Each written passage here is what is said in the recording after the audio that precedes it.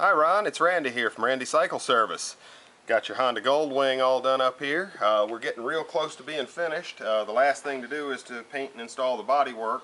Uh, everything else is done uh, and everything else is working. I am also waiting on a uh, tachometer cable as well.